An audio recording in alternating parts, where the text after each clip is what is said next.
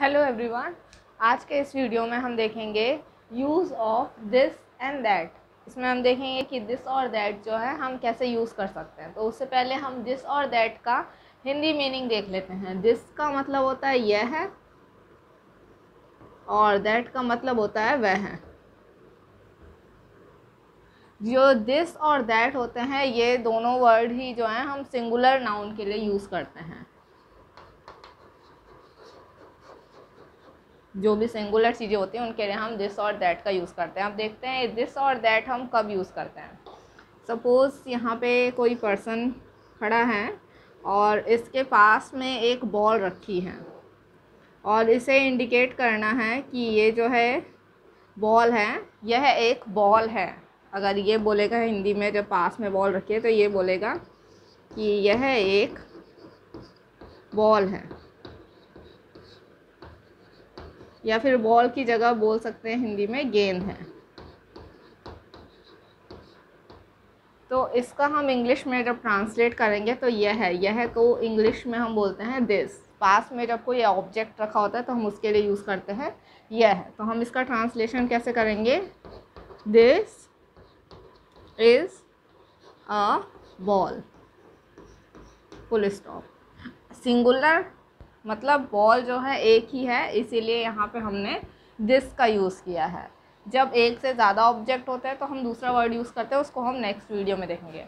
ये पर्सन जो खड़ा है इसके पास में बॉल थी तब इसने कहा यह एक गेंद है जिसको हम इंग्लिश में कहेंगे दिस इज़ अ बॉल अब ये पर्सन जो खड़ा है अगर बॉल जो है इससे दूर रखी हुई है तो यह कह, ये कहेगा कि यह यह एक गेंद है, जब पास में थी, अब बॉल दूर है तो ये कहेगा कि वह एक गेंद है। वह एक गेंद है। तो वहाँ पे जो है, हम क्या लिखेंगे? उसके ट्रांसलेशन के लिए हम लिखेंगे दैट इज़ अ बॉल जब दूर में रखी हुई है चीज़ तो हम उसके लिए बोलेंगे दैट इज़ अ बॉल तो यहाँ पे दैट का मतलब है दूर में रखा हुआ ऑब्जेक्ट और दिस का मतलब है पास में रखा हुआ ऑब्जेक्ट दोनों ही जो है किसी भी ऑब्जेक्ट के लिए सेम ऑब्जेक्ट के लिए यूज़ कर सकते हैं। फ़र्स्ट डिफरेंस ये होता है कि दिस में चीज़ पास में रखी होती है और दैट में चीज़ जो है दूर रखी होती है। और एक एग्ज़ाम्पल देख सकते हैं। जैसे यही पर्सन है, इसके पास में जो है एक कार है।